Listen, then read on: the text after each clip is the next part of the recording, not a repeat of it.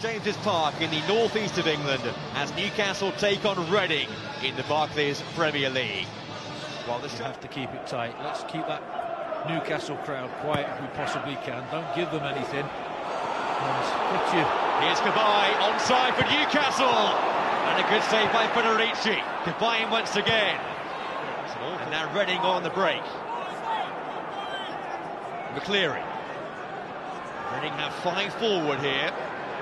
McCleary up against Debuchy. Pogrebniak had the chance. And what a chance it was. Anita.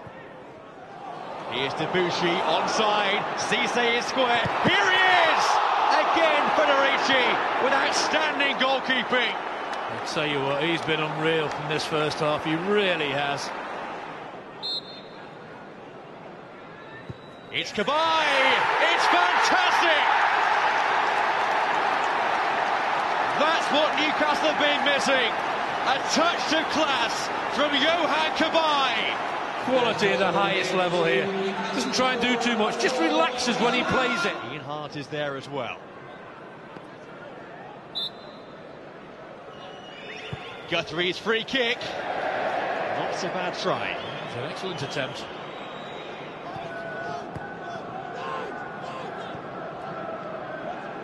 Leigertwood.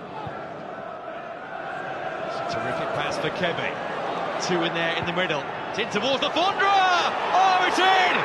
It's his first touch! Adam Le Fondre has equalised for Reading. And there he stays on side, has a look across the line. First touch, second touch good, puts it in the slot. And it does come off him. You've got to be 100% sure that it was a little bit untoward, and he wasn't. So he gives the goal. McAnuff with the ball in. They attack the back post. It's Akpan. Oh, it's in again! And it's him again! Adam Le Fondre! It's his second! And Reading are the comeback kings again!